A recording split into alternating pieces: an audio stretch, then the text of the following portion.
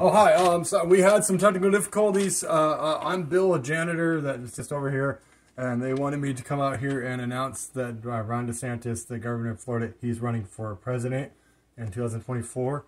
Um, and uh, the message that he wrote on here was that we don't want to go backwards, we want to go forward, but yet we'll go backwards because we're bad with direction. Ha ha ha ha.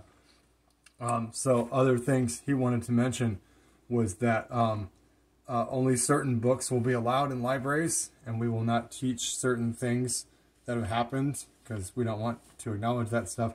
Um, and uh, it, you will be. He's here for the Americans to go forward, as long as you look like me, and you know, and don't say gay. Oh shit, said it. Um, God damn it, Bill! Get out of here. Oh, sorry. Um, just uh, DeSantis 2024. Um, Thanks for uh, another fascist regime.